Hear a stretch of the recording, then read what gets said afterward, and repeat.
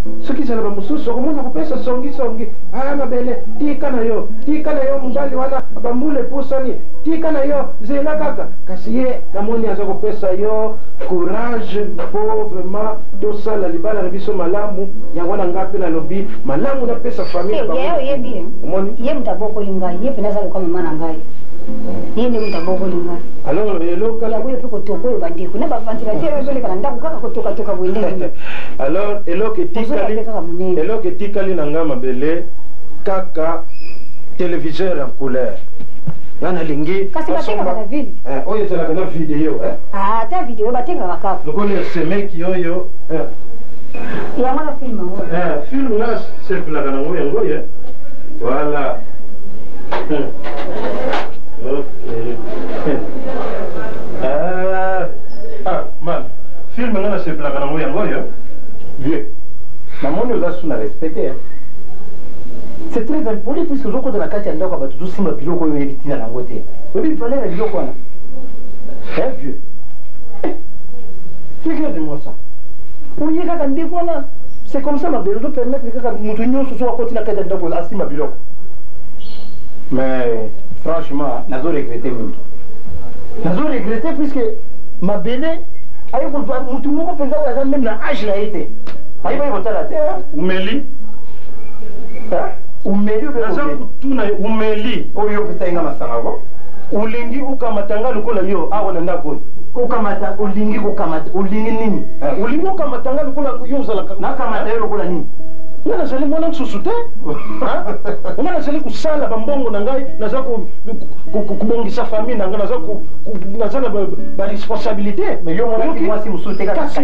ndako. Yo awa ozali lokola mwana, omonaka mwana nsusu lokola batiaka ye na se ya mapapu ya mama na ye vie nga namoni ya soki oyebi makambo na kati ya ndako ya bato te koluka okotaka pampamba te pisi ozoli sikoyo zwa makambo ozalaka na liboma yo nayebisi yo bima na ndako epuis nalingi komona yo sute dako naza na besoin na yo te nga naza moninga na yo te na enfin euh, memamere ngai nakobala mwana mwasi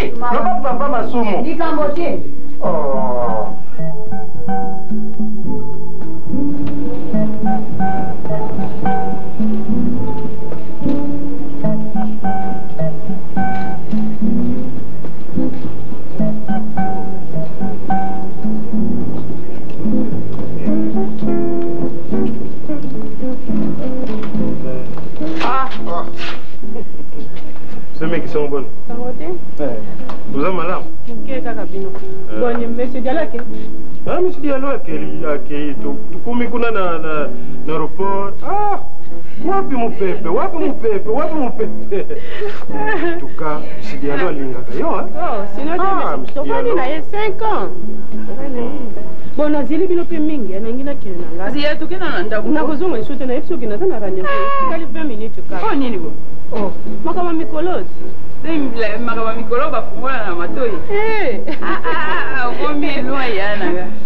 Mais ya oyebi ke Sonzo atinda ye mikanda. Eh, la Cécilie? La Cécilie. Hmm. Ah. ah. Akomo ya.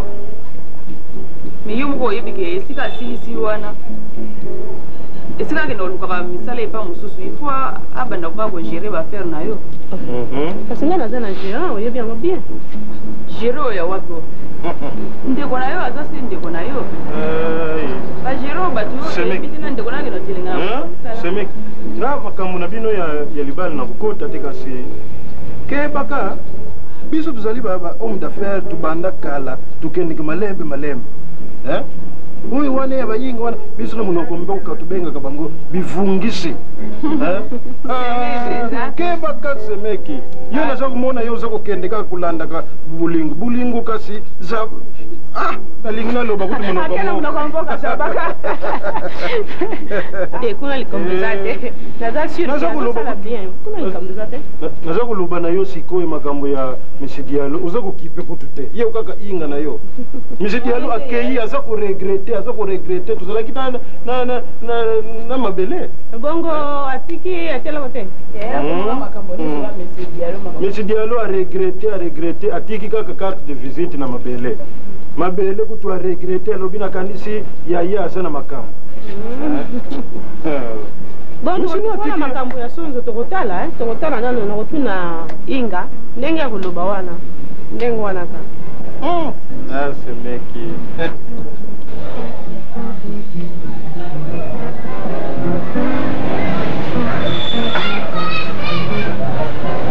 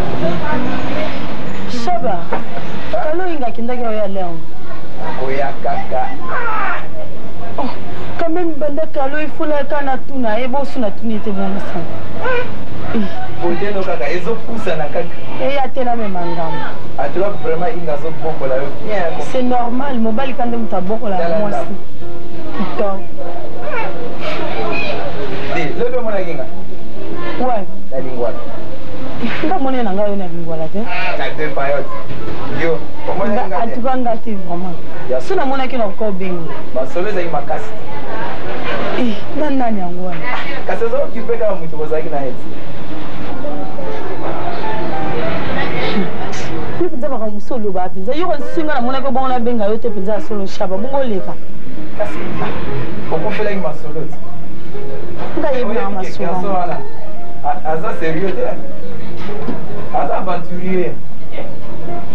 persona oyo ozangi nango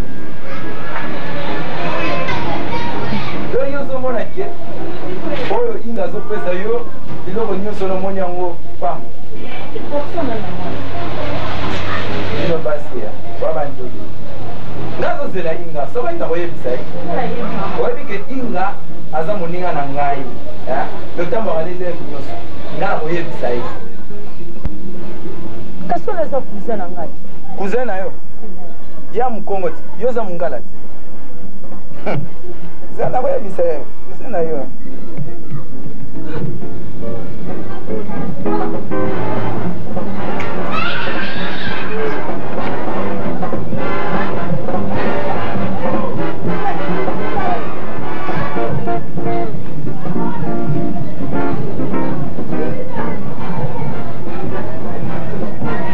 shaba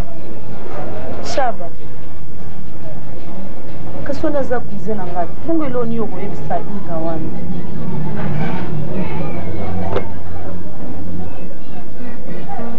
shaba shaba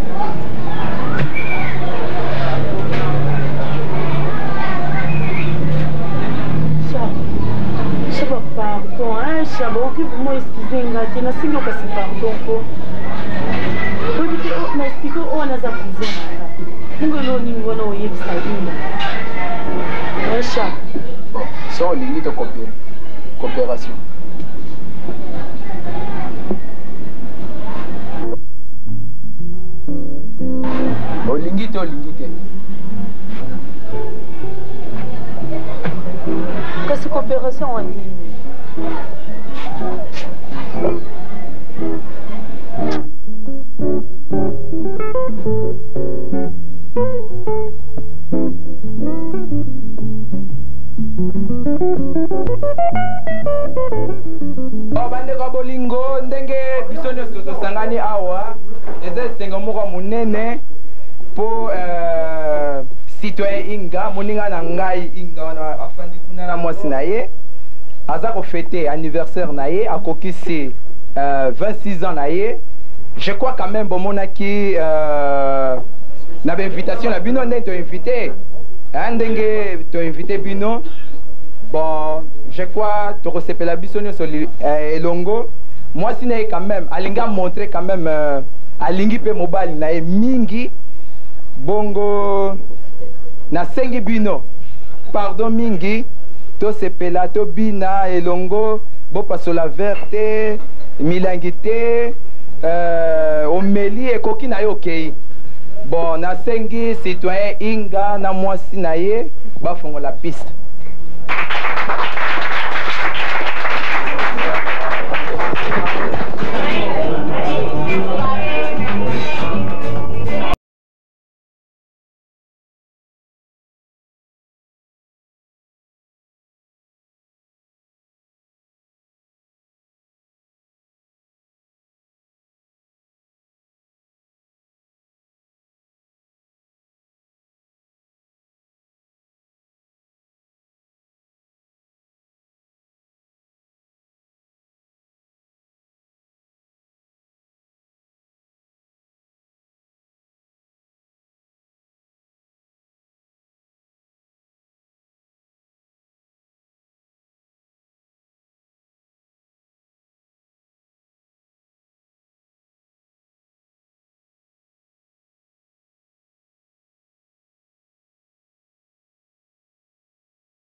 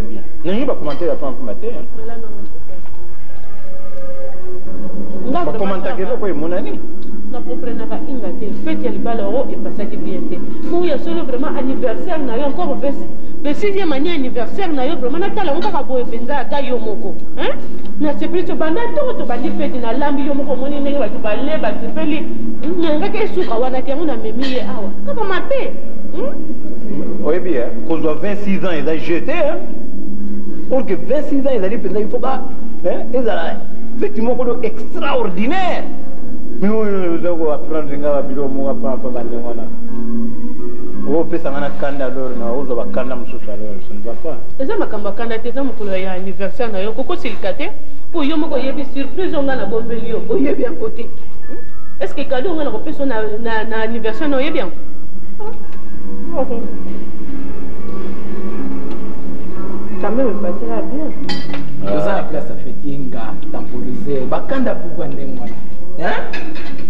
kaka ndenge wana kado kado omoi kutu oyoka kado moko malonga ya bote sheri oh.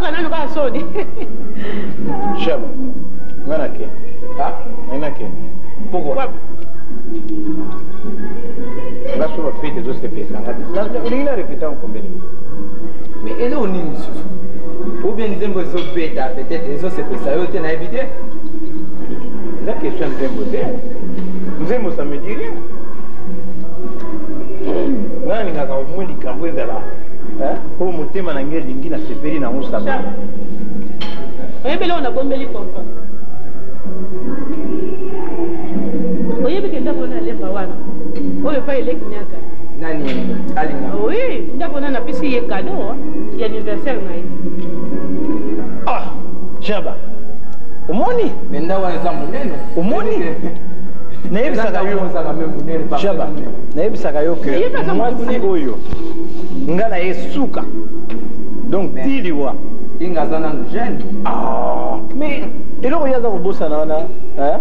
Il faut atalaka nanu esprit na ngai soki na varie na variaka na raison. Shaba, omoni ngai nayebisaka yo ke ngai na mopepe suka ze liwa donc basongisongi ya mike mike wana etali bango exemple te semeki bole donc il faut comprendre que problème eya te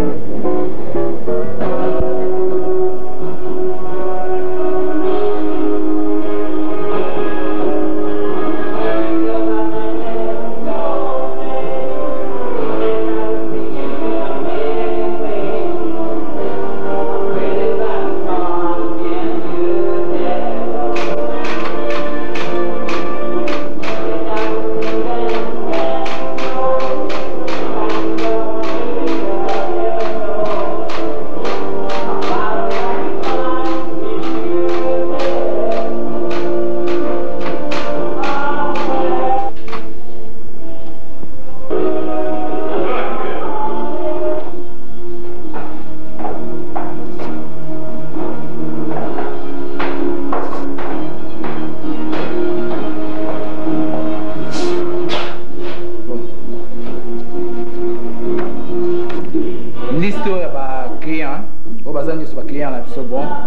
euh, tiango propre comme ça na signé euh, chauffeur akende kodépose ya fournir to fournir bango déjà sala yango rapide oyebi ke biso awa bilo ezala toujours rapide excusez patron c'est un moko azozela yo oh, alinga eh, oyekaka ah,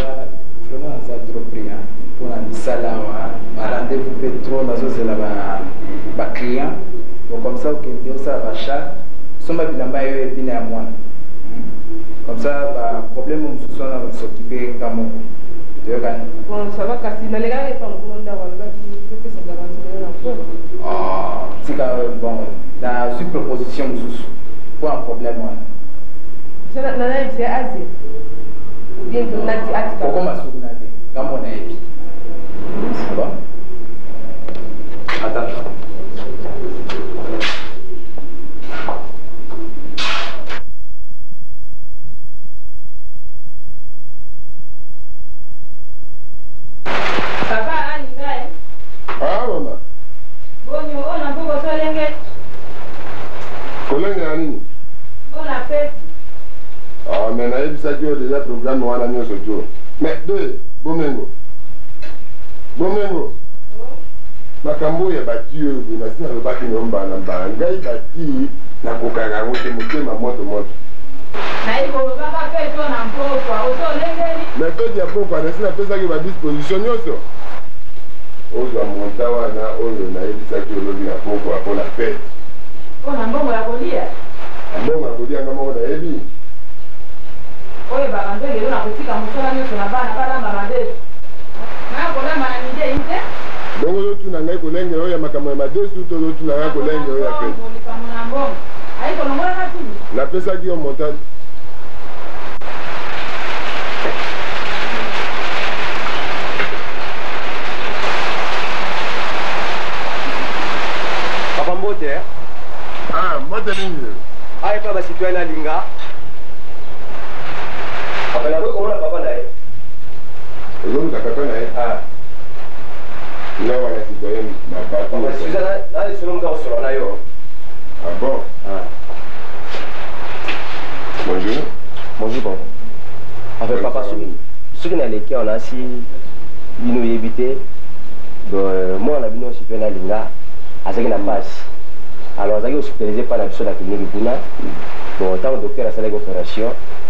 on marchaki te akufi ayao na leki apona ebisa nionso ba demarche bongo nobimisi ebembe na ye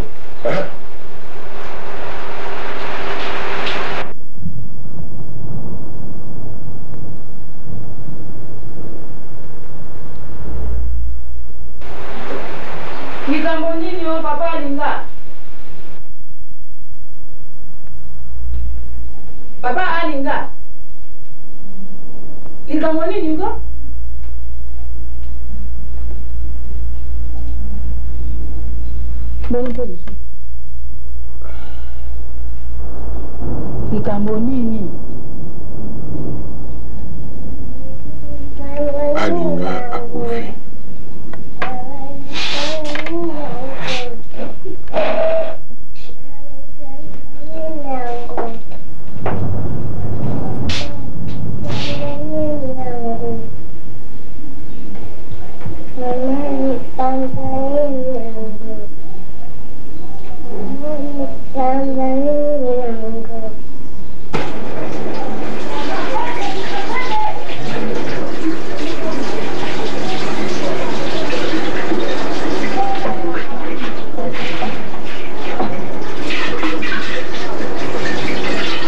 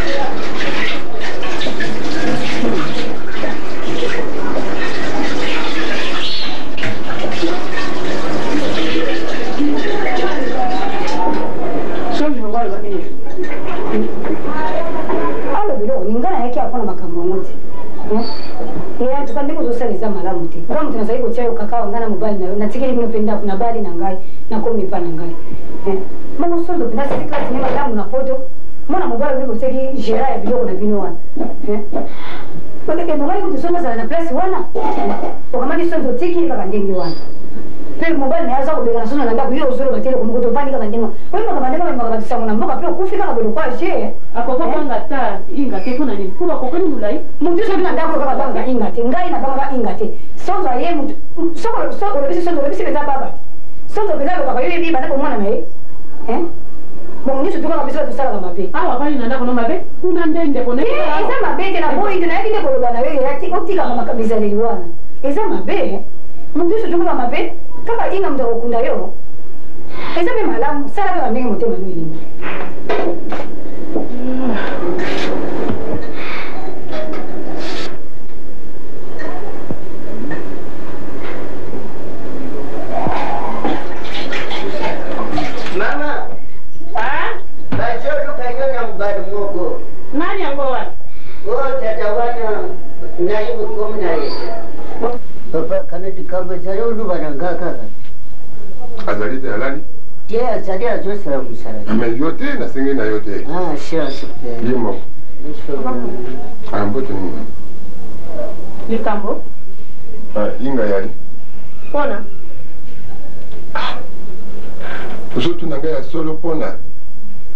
na kin na lemba kuna epe inga aza kovanda bango na mwasi na ye alinga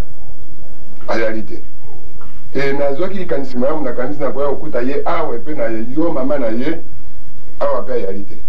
bo oyo oh, likambo monene mabele mabele yeah.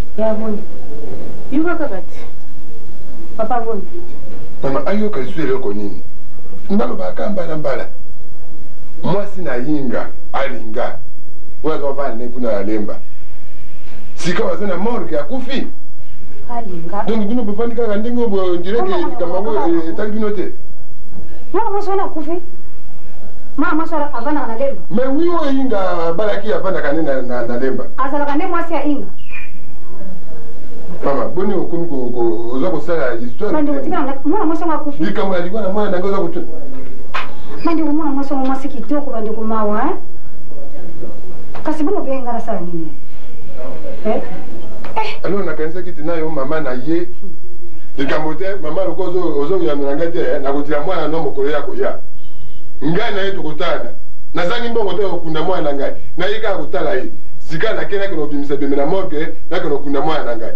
bongo sima o nga na na mwana na yo tokotalana inga wana soko inga soko ye nani kasi loba te oloba te ye mama na inga o inga alingi nga mingi mobali azokosa yo olobi alingi yo suka nango lelo wana obela nani obeli te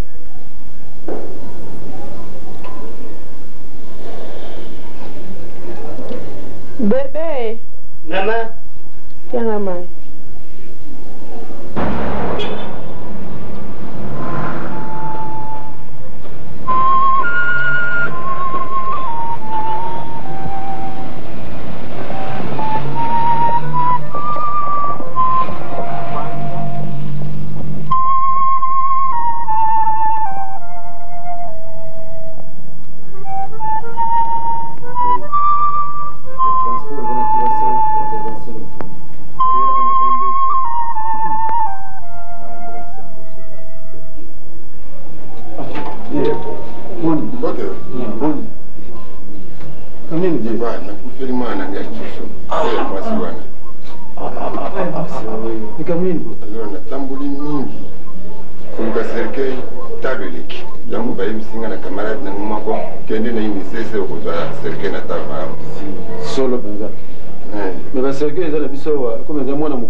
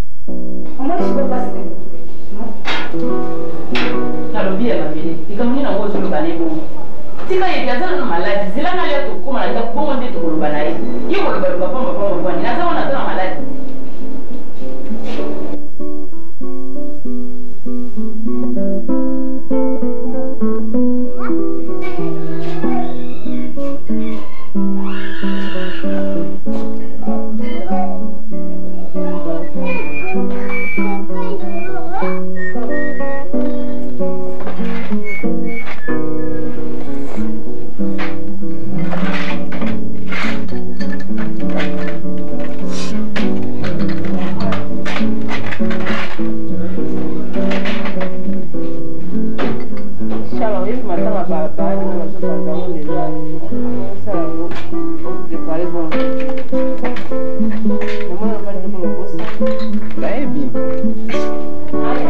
me nga matanga nakokenda ngo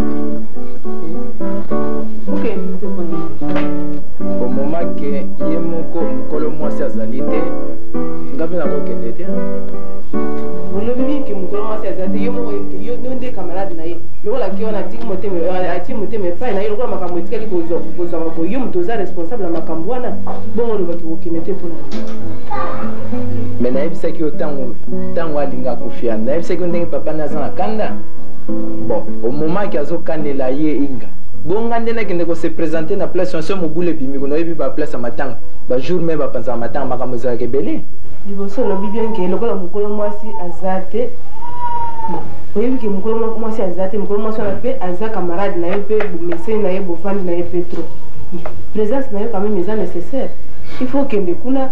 soki bamoni yo comme ça tata na ba tata na ye akozala na- ayoka ata kamwa kutu bia yebaka ke likama oyo eye- oyo oyo ezwi yo wana mobali aza te en tout cas okoyoka kaka kanda oyebi inga ye moko moto alukaki yango juste ase ke soki aye ye moko akende ko se presente kuna bon soki ekopase ndenge nini bon ye moko asa ndenge eh, etali ye. ngai nazosokipe kaka na yo na mwana bon soki eza problème na famille na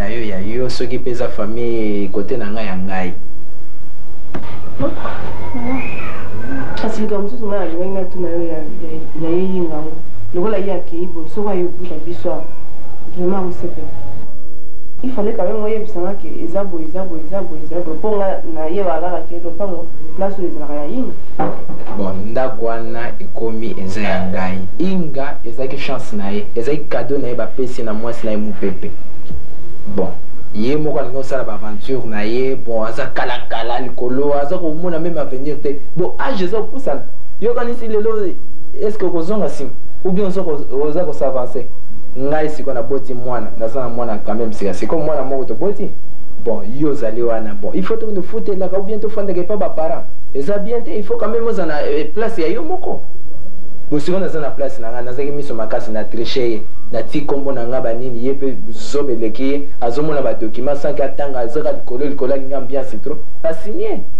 nazui sikoyo parcelle parcelle ekomi ya ngai ndaku biloko nionso eza ya ngai kasi vraiment na ndenge osali ya ndenge wana soki ye azongi bokoyokana bon ndako ekomi yanga bongo ni wana obomi kikamarade na bino ya yo na ye ah na mokili oyo miso makasi nalobi ya ye baposango etika lisuwa ozolakisa kaka moto moto kaka bo bongo moto yango eboyi olia kama pomme de terre nasalelaki yo na moi ya na nyama olingi kolia te sikoyo mpe nasali miliki nalobi nomela ata tasi moko olingi komela te bongo sikoyo maladi yango ekontinue na yango kaka nakufa kaka ti okufa kaka ndenge navandi awa pamba mosala nakosalaka awa ya pamba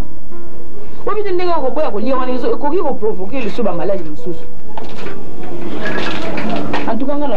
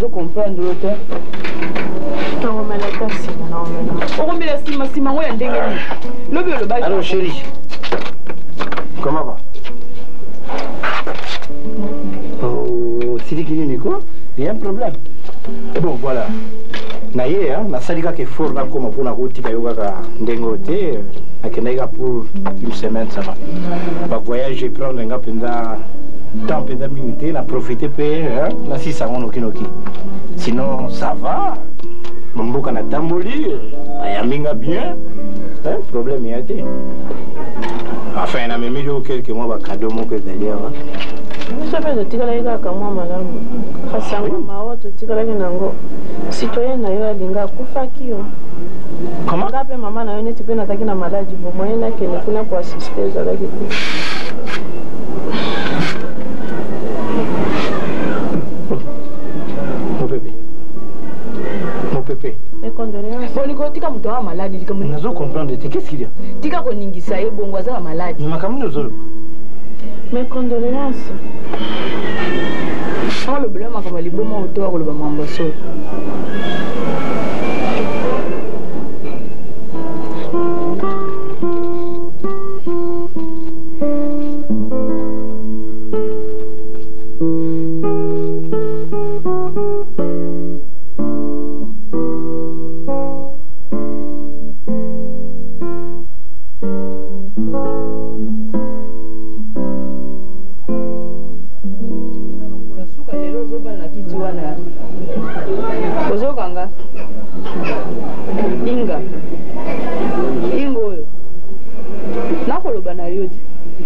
lelo nde mokolo ya suka ovandi na kito na oyebi yango te osolole mpe mingi e kotondo oyo so tondi wana na kolia oyo ole wana biso nanu tole yango te ozoyoka bisakano nyonso tosi tokangi yango daye na kazaka wana ndenge oye nango siko soki oso omemi mosusu yango na kokende nango epai na bino oyo eh, ya liboso eyali kuna na chambre kuna ekotikala nyonso tokotinda yango bakoko na biso bana mboka te bakolata yango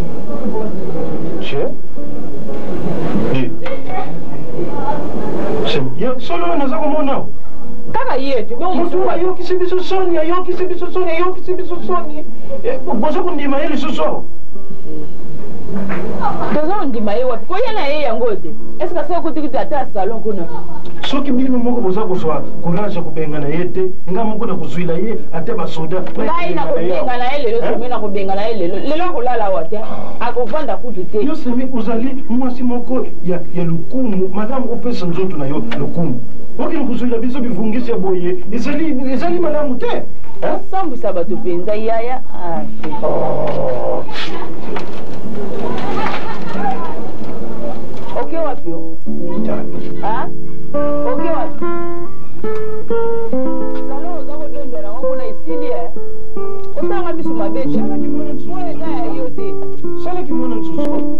ah! ah!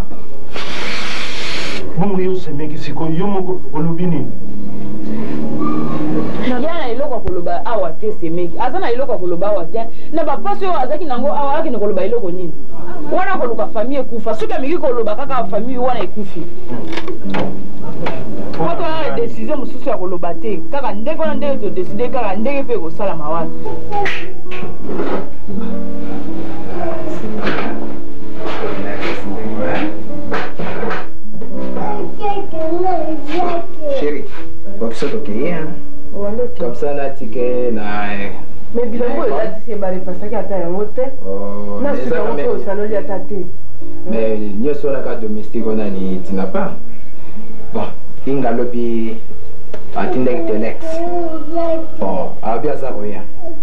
lelo akoma lelo wana akoma lelo soki ameki kokoma ko recevoir ye te oyebi nga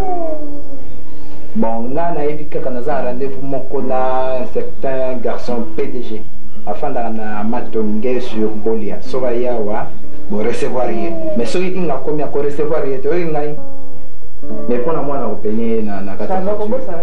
bon loba na ntina mpa sokola babilamba na nyonso solo te hmm?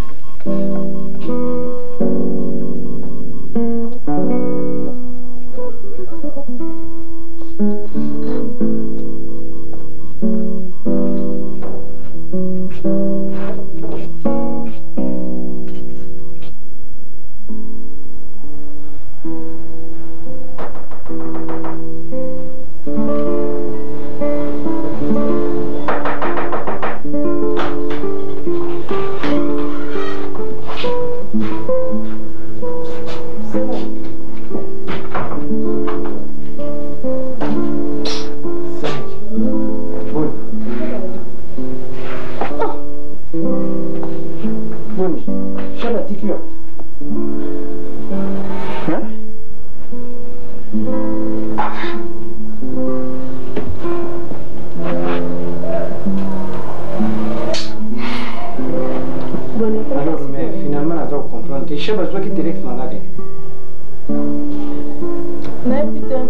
shaba nazalaki na ye na communication nayebisaki ke naza koya na vai na aéroport jusqu'à présent na trouve ye te e encore baproblème nazwi sikoyo